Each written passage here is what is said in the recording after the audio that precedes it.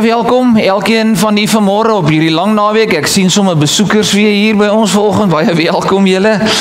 Ou bekendes hier in Harswater. Baie welkom. Ek het nog iewers besoekers gesien. Hande op. Niemand hier. Goed, broer en suster, dis vir my 'n voorreg vanoggend om hier saam met julle te wees. Mag hierdie erediens vanoggend vir ons help om nie ontevrede te wees nie. En uh ek kon nou nie help met die tema waarom ontevrede om sommer net ag nee agteraan te sit nie. Want ons lewe maar in 'n tyd waar ons wil so negatief wees en alles ons eintlik negatief stem. En ek hoop dat die woord van die Here vanoggend vir ons gaan help om om ten spyte van alles positief te bly, positief te reageer en te weet dat die Here ons bemoedig en versterk waar ons ook al beweeg. Ja, ek het net een afkondiging. Ek weet nie waar is die afkondigingsboek nie. Ek het hom nie gekry vir oggend nie, maar dink Elise het 2 weke sin vooruit gedruk. Ehm um, Ek wil net een naam byvoeg en dis vir Harris van Niekerk. Harris is in Bloemfontein in die hospitaal. Doopie het nou net vir my gesê hy het longontsteking en dit gaan on, onder omstandighede goed. So ons bly maar vra vir voorbidding dan vir Harris ook asseblief. Kom ons word vir 'n paar oomblikke stil dan ontmoet ons die Here.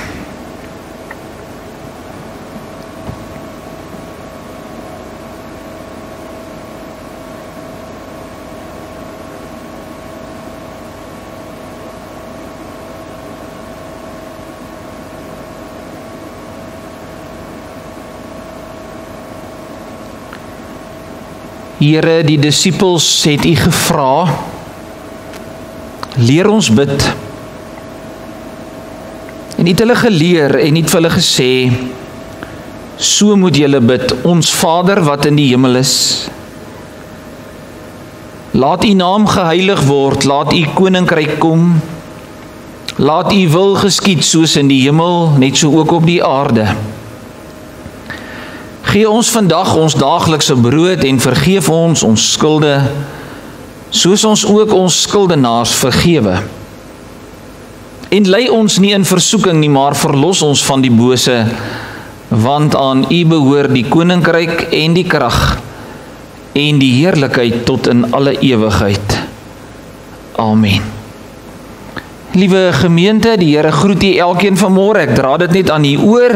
Genade en vrede. Dit kom van hom wat is en wat was en van die Heilige Gees wat voor die troon van God is. Dit kom ook van die Here Jesus Christus, die geloofwaardige getuie wat eers uit die dood uit opgestaan het, die heerser oor die konings van die aarde. Ons gaan twee liedere saam sing. Een is 'n loflied en een is 'n bietjie meer aanbiddingslied. Lied 200. Ons kan hom staande sing. Daarna kan u gaan sit en dan sing ons spontaan daarna ook die Heilige Gees lied. Nou hierdie is 'n ou bekende ehm um, as ek reg onthou is dit nie uit die ou gesangboek was dit gesang 12 as ek reg onthou. So en hy het nou maar oorgespoel en dit bly maar 'n lied wat ons amper elke Sondag kan sing oor die goedheid van die Here wat ons nie kan pyl nie.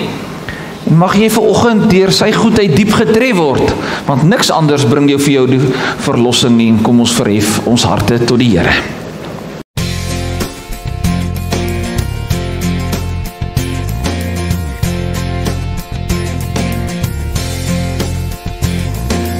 Die goedheid hier kan ons nie pyl nie. Wie word daardeur nie diep getref?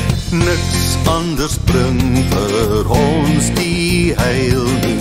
Ons wil ons hart tot U verhef.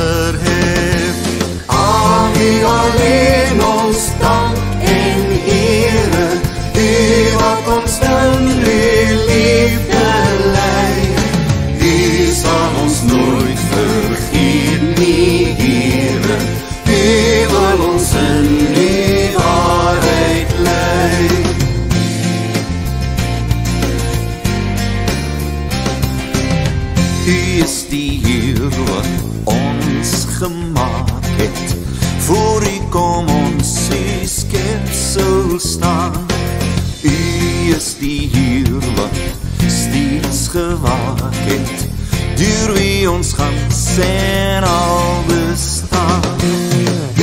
bring in ons gemoed die vrede. U sterk ons gees met nuwe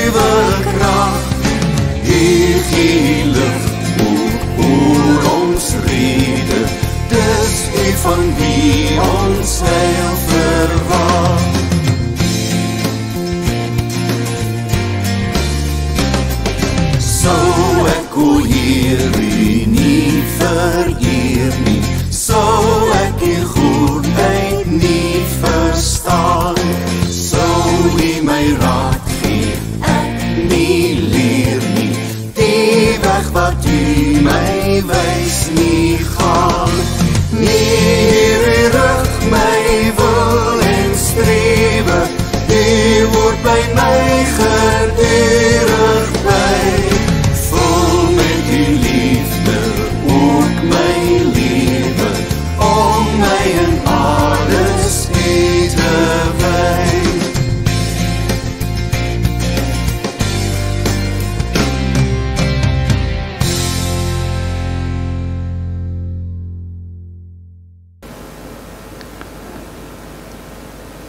Here, ons het so pas gesing en gevra dat U deur U Heilige Gees ons sal lei.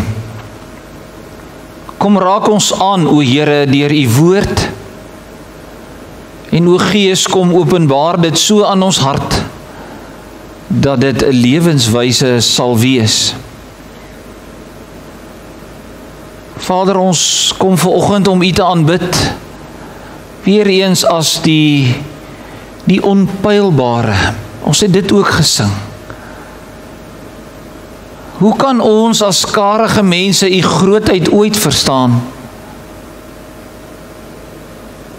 As ons net na die natuur kyk daar buite, 'n eenvoudige ding soos 'n boom of 'n insek. Die wolke in die hemel, die bloue hemelruim, dan weet ons Here daar is iemand groter as ons. En daarom kan ons nie anders as om in aanbidding voor U te kom staan, Vader. Tog het U self iets van U self aan ons kom openbaar deur Jesus te laat sterf, uit die dood uit te laat opstaan. En mag ons ver oggend ook weer so 'n ontmoeting met die opgestane Here Jesus hê. Geef vir ons moed Here in hierdie deurmekaar wêreld in die stikkindheid van dit wat ons beleef. Kom en raak ons diepste binneste aan. Dat ons so vernuwe sal word en geraak sal word in ons hart dat dit van binnekant af na buite toe sal uitborrel deur woorde, deur gedagtes, maar ook deur 'n lewenswyse van liefde. En Here, dis net U wat ons daartoe in staat kan stel. En mag hierdie ontmoeting vanoggend Vader dan wees nie net tot ons eie voordeel en versterking maar dat ons u naam sal groot maak en gaan leef. Ons vra dit alles in Jesus naam. Amen. Ek lees vanoggend met jou saam Eksodus 17. Eksodus 17 se eerste 7 verse. Baie bekende gedeelte waar waar Moses die water uit die rots laat kom het toe die volk daar in die woestyn was. Dis maar hieruit waar die tema dan ook na vore kom omdat die volk nou baie ongelukkig was. Eintlik ongelukkig met die Here was. Omdat hulle nou so in die woestyn beland het en nie geweet het watter kant toe om te gaan nie.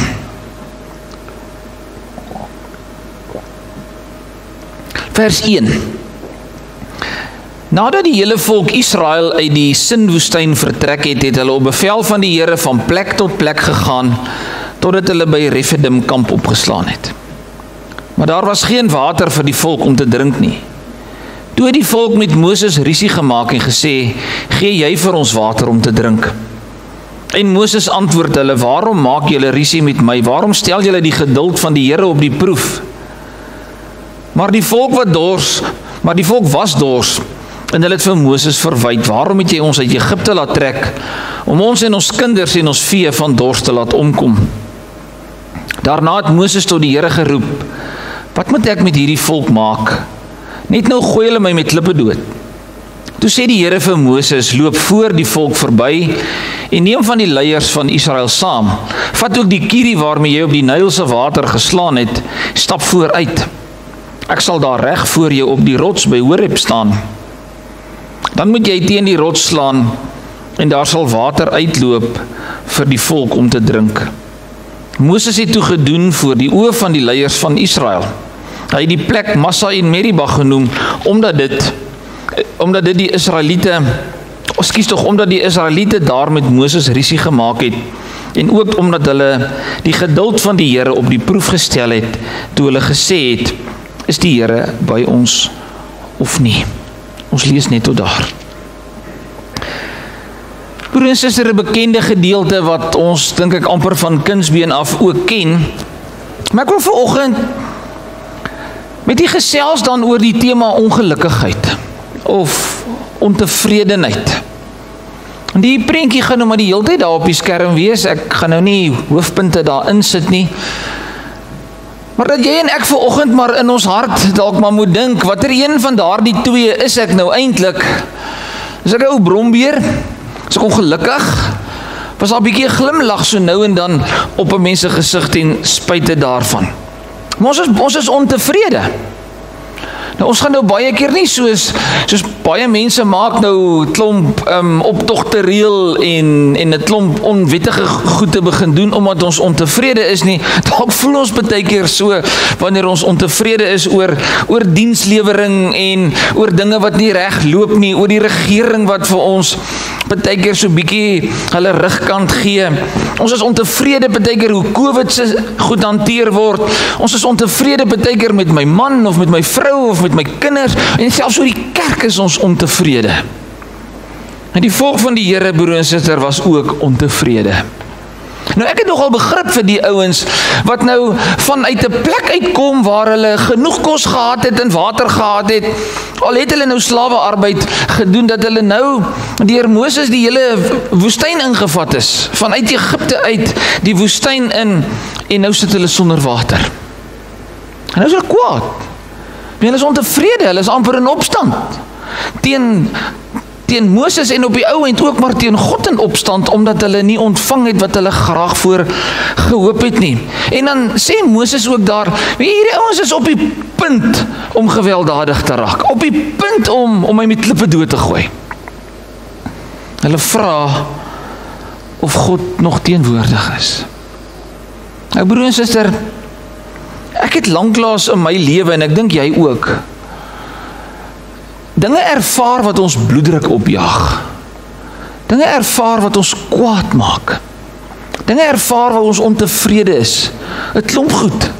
En dan voel 'n mens maar hoekom? Dit lyk vir ons asof daar niks meer positief binne in hierdie lewe is nie. En ons as Christene gaan nou nie tot geweld oorgaan nie, maar ek dink ek ervaar dit. Dit mens baie keer in opstand in jou hart kom. Jy sê maar hier's so klomp goed wat eenvoudig indrys teen ons Christelike beginsels, teen dit wat die woord van die Here sê. En jy weet, hier binne in jou hart is eintlik 'n stukkie oorlog. En en die volk was in oorlog met Moses gewees. Nou sit Moses op hierdie punt. Wat moet hy nou maak? Hy is die leier van die volk en hulle is kwaad vir hom. En dan raadpleeg hy die Here. En hy gaan na die Here toe. Hy sê: "Here, ek stel dit nou maar sommer my eie woorde wat ek dink as ons dit nou Ekskuus my lippe is verskriklik droog vanoggend.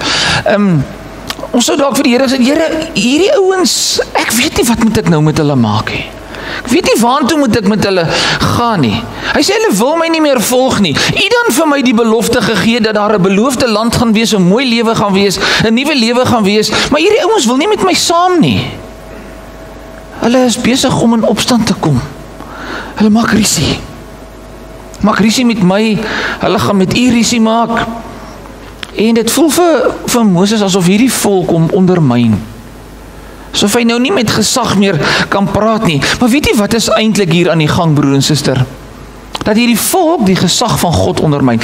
Dat hulle die belofte wat God gemaak het dat hy met hulle sal saamgaan, dat hulle dit eintlik ondermyn. So hulle ondermyn nie regtig vir, vir Moses nie. Want onthou, die wet bepaal mos dat iemand wat met gesag oor jou aangestel is, en jy ondermyn daai gesag, jy eintlik in opstand teen God kom omdat jy teen God se gesag in opstand kom. Hulle bevraagteken die deskundigheid van God. Bevraagteken die Here se doel met hulle. En daarom vra hulle in vers 7 hierdie uiters ongelowige vraag: Here, is U nog by ons? Ek wonder of hierdie vraag nie baie keer in ons harte was met hierdie tye waarin ons leef nie. Is God nog by ons?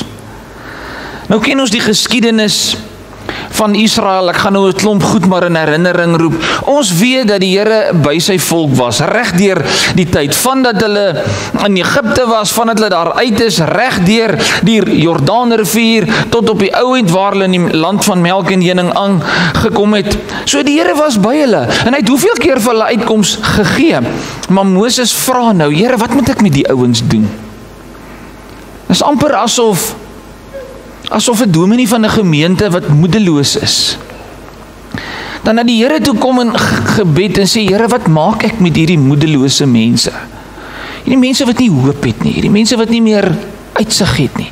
Hulle wat nie meer krag oor het nie. Hulle wat nie meer lus is vir hierdie wat maak ek met hulle? Maar antwoord die Here vir Moses en hy sê vir Moses: "Vat jou kierie. Ek sal vooruit stap na Horeb toe en ek sal daar op die rots staan en jy moet met jou kierie op die rots gaan staan. Nou ken ons wat gebeur het. Almal het water gekry, dat water uit die rots uit gekom. Ek wil vir jou vra so 'n paar oomblikke terug.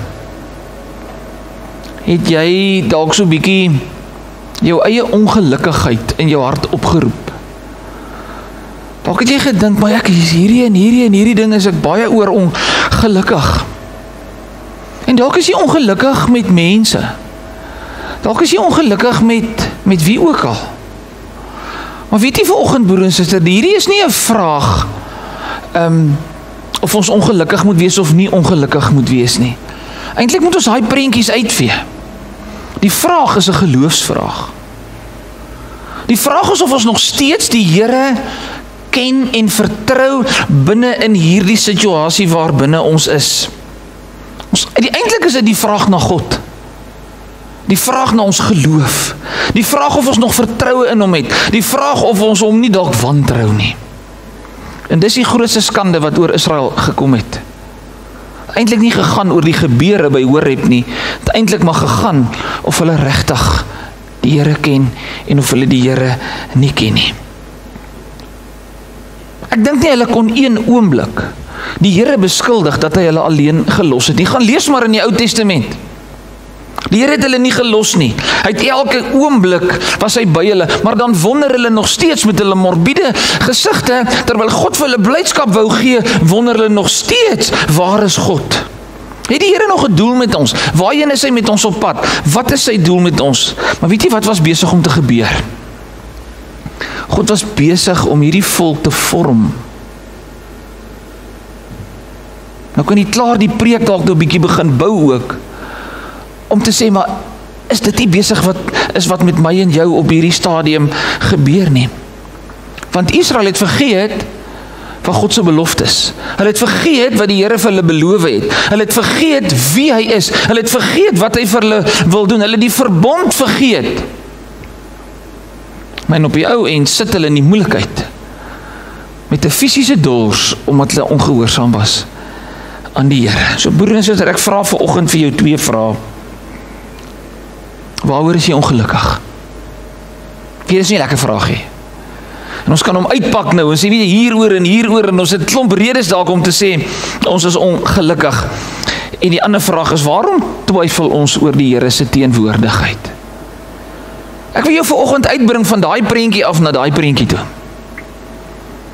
Eintlik wil die Here ons uitbring daar sê maar kom, ons hoef nie so morbied en so te neergedruk te wees nie. Wat wil God vanoggend doen? Kom ons spring gou na die Nuwe Testamente. Hy wil jou vanoggend aan Jesus kom herinner.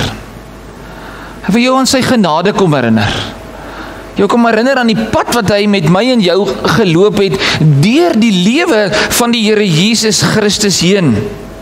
Nou as jy nou mooi gaan dink in die lig van ons kennis van God, in die lig van die skrif, en ek dink nie is een van ons wat ver oggend kan sê ek het ek ek ken die Here nie. Ek dink ons is ingelig um, in 'n wêreld waar in ons lewe met 'n inligtingontploffing kan nie een van ons sê ek ken nie die Here Jesus Christus nie. So daarom mag ons nie ver oggend vra na God se teenwoordigheid nie. En dit in twyfel trek nie. Maar eerder die vraag vra, ken ek hom en vertrou ek hom? Daarom is dit 'n vraag na kennis, geloof en vertroue. Is dit nie wat ons belydenisskrifte ook sê nie? Geloof is om God te ken en God te vertrou. En broer en suster, hierdie moderne wêreld en hierdie stikkende wêreld waar binne en ek jy leef, leef is 'n toets vandag vir my en vir jou. Dis die vraag of ons die Here regtig gaan vertrou en in hom glo in hierdie tye. Glo jy dat God met jou onderweg is? En broer en suster, die afgelope tyd het hierdie vraag baie in my hart geleef. Is God met ons op pad? Ons weet dit hy is met ons op pad. Waarheen is hy met ons op pad? Ons motivering lê daarin dat hy beloof hy's met ons op pad na die land wat oorloop van melk en honing. En ons situasie iets anders.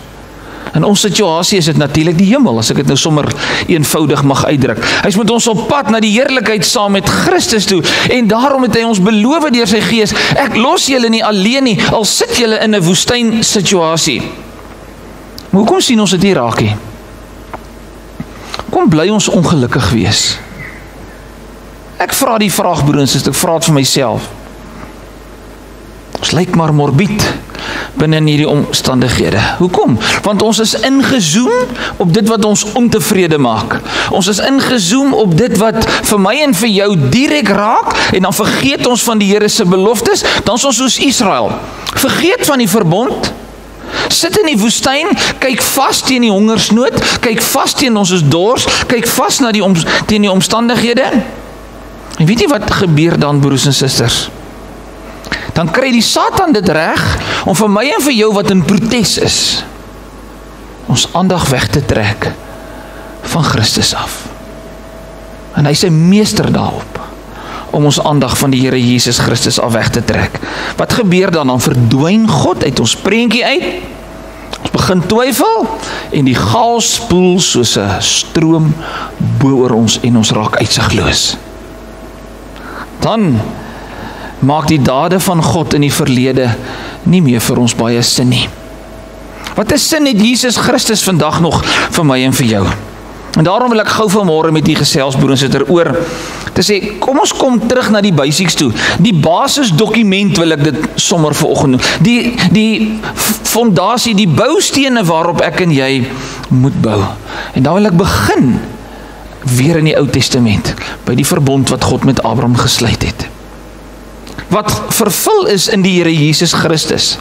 Wat 'n stuk motivering is van dit wat God vir ons gee. Hy het dit in die doop vir ons gegee. Waar is die doopfont? Hy staan aan die ander kant. Daar het hy dit al vir jou bevestig dat ek jou nooit alleen sal los nie. Dis bewys deur Jesus sy lyding en sy sterwe. Ek gaan nie daarby aanraak vanoggend daarby stil staan nie. Dat Jesus self gevra het: "Here, hoekom het U my verlaat?" Maar my en jou gedagtes broer en suster loop ons wye draaie. Maar wonder ek of die Here nie maar hierdie wye draaie met my en jou loop nie. Die ander roete. Moet ons nie dalk kyk wat God vir ons openbaar op die ander roete nie. Ek dink ons wil reguit loop. En en as ons nie gaan raak sien dat al hierdie omstandighede of dit nou COVID is en of dit wat dit ook al is, dat die Here dalk vir ons aan ander dinge wil kom herinner op die ander roete, op ons fondament of ons aan ons fondament wil kom herinner op die ander roete. Kon nie help om te dink aan ons ehm um, die die uitdrukking wat sê ons maak 'n Kaapse draai. Dat God dalk met ons 'n Kaapse draai loop. Maar ons is so ingestel op inentings en is reg Ons is ingestel op die regering. Ons is ingestel op COVID oplossings.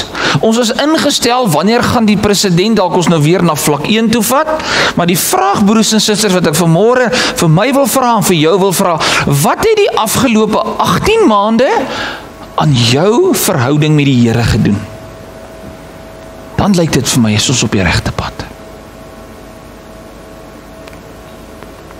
En as ek so die kerk kyk, sien ek die mense wat baie seer het nog rondom hierdie tipe goed wat gebeur het. Dan kan ons mos nie die vraag vra na die irrelevantie van God se teenwoordigheid nie. Dis mos onmoontlik om dit te vra. Dis 'n ongelowige vraag om te vra of die Here teenwoordig is. Dis 'n klap in die Here se gesig by wyse van Spreuke, 'n minagting van sy karakter, 'n minagting van sy liefde. Terwyl die Here wil hê dat hierdie situasie waarin ons is eintlik 'n tyd moet wees vir groei. 'n Tyd moet wees van selfondersoek. 'n Tyd moet wees waar ons God ontdek, dalk 'n tyd van skuldbelydenis. Dalk 'n tyd moet sê Here, ons 'n bietjie vergeet van wat daar buite aangaan. Ek wil inzoom op my eie lewe. My eie teenwoordigheid, my eie geloof dan kom Petrus en hy skryf in 1 Petrus 1 vers 6. Dis self nodig dat ons 'n kort tydjie bedroef gemaak moet word deur allerlei beproewings. Hoor jy dit? Dis is selfs nodig dat ons vir 'n kort tydjie bedroef gemaak moet word deur allerlei beproewings sodat die egtheid van julle geloof getoets word. Ek wonder of ons dit nie gemis het die laaste 18 maande nie dat ons egtheid van geloof getoets is en ons weet nie dat God ook COVID en al hierdie goed wil gebruik om ons te kom toets nie. Nou sê ek in aanhalingstekens want ek weet dit kan nie gebeur nie maar die Here sukkel met ons. Dalk gaan hy nie met my saamstem vir oggend nie, maar maar dalk sukkel die Here. Ek weet hy kan nie sukkel nie, maar hy sukkel met my en jou omdat ons dalk nie altyd begryp wie hy is en waar hoe, hoe hy met ons onderweg is nie. Kom ons stel dit beter, die Here is dalk teleurgestel binne in ons. Want enige persoon wie wonder of God nog teenwoordig is, of God nog hier is, verkeerde vraag. Die vraag moet omgedraai word. Die Here wil ver oggend vir my en vir jou vra. As jy vir hom vra, Here, is U betrokke by my? Dan sal bevestiging deur jou doop, deur die nagmaal, deur Jesus se kruisiging, sterwe en opstanding, alles is daar, maar hy wil die vraag omdraai en vir jou vra, is jy by my betrokke? Dis die vraag. God sou eerder vir ons wil kom vra. Kom sien ek jou nie meer nie kom praat jy en ek nie meer met mekaar nie. Kom is jou gebedslewe af. Kom met ons kommunikasie verbreek. En nou wil die mens vra na God. Dis ons broers en susters wat in 'n verval ingegaan het binne in hierdie wêreld. Gaan kyk maar, wat is die rede vir 'n wêreldverval? Vir die die totale verval is die gebrokenheid van die mens. Ons kan nie die Here daarvoor skuld gee nie. En nou vra hy die Here vir oggend vir ons. Hy wil deur ons of deur sy gees in ons leef. Waarom ervaar ons nie sy teenwoordigheid nie? Waarom is al hierdie goed vir ons oorweldigend? En weet jy hoekom? Want daar's by my en jou 'n dors na God wat ons nie van weet nie. En ek dink dis hoekom die Here ons elke dag roep en elke dag vir ons sê: "Erken jou afhanklikheid. Erken dat jy dors is." Die dors van Israel in die woestyn ja was 'n fisiese dors, maar ek en jy is dalk vanmôre geestelik dors en dalk soekend na die Here. Die wêreld ken God nie. Ons dors na ander dinge. Ons dors na goed wat geen heilswaarde het nie. En wat gebeur wanneer ons ons wend na goed wat geen heilswaarde het nie, wat nie ons geestelike dors kan les nie, dan ver, verval ons in 'n ontevredenheid terwyl God met alles wat hy gedoen het vir ons wil gesê het jy kan gelukkig wees. Broer en suster, as ek en jy vasgenaal gaan wees teen en in ontevredenheid binne in ons hart, dan weet jy gaan jy met God in 'n geveg wees. En as jy ongemaklik voel oor oor al hierdie goed, dan weet jy die Heilige Gees praat met jou en werk met jou. Maar is God nie deur dit alles besig om ons te vorm nie, soos wat hy met Israel besig was nie? En die oplossing om daar te kom lê in 1 Korintiërs 10 vers 3, eintlik in die hele woord, maar ek haal net daai vers vir u aan. Vers 3 en 4 almal, dit verwys na Moses en die volk het dieselfde geestelike voedsel geëet en almal het dieselfde geestelike drank gedrink. Hulle het gedrink uit 'n geestelike rots wat met hulle saamgegaan het en hierdie rots is Jesus Christus. Ek kan nie vanmôre anders as om Christus aan jou te verkondig nie.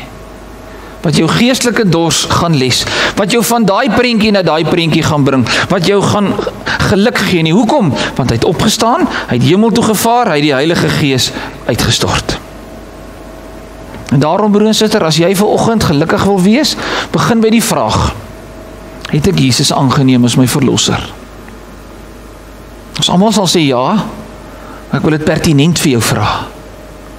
Ken jy Jesus regtig?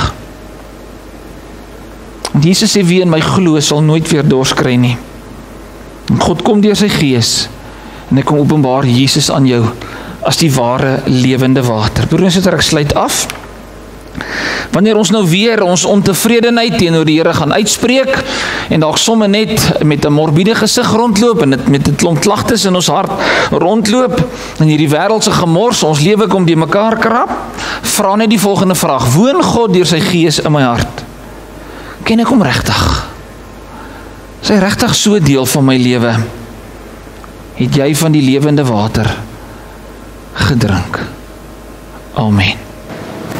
Hemelvader, dankie dat ons nie nodig het om ongelukkig te wees nie of dors te wees nie. Want in U is vreugde. In U vind ons blydskap. En U roep ons vandag op, Here, om met daardie blydskap, daardie eenheid van hart en liefde met vreugde dan ook U kinders te wees.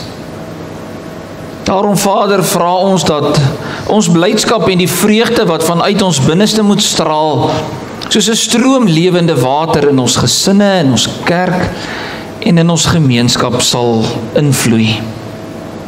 Dankie Vader dat U ons kom optel wanneer ons dalk 'n bietjie bietjie ongelukkig raak, wanneer ons voel die wêreldse dinge druk te swaar op ons.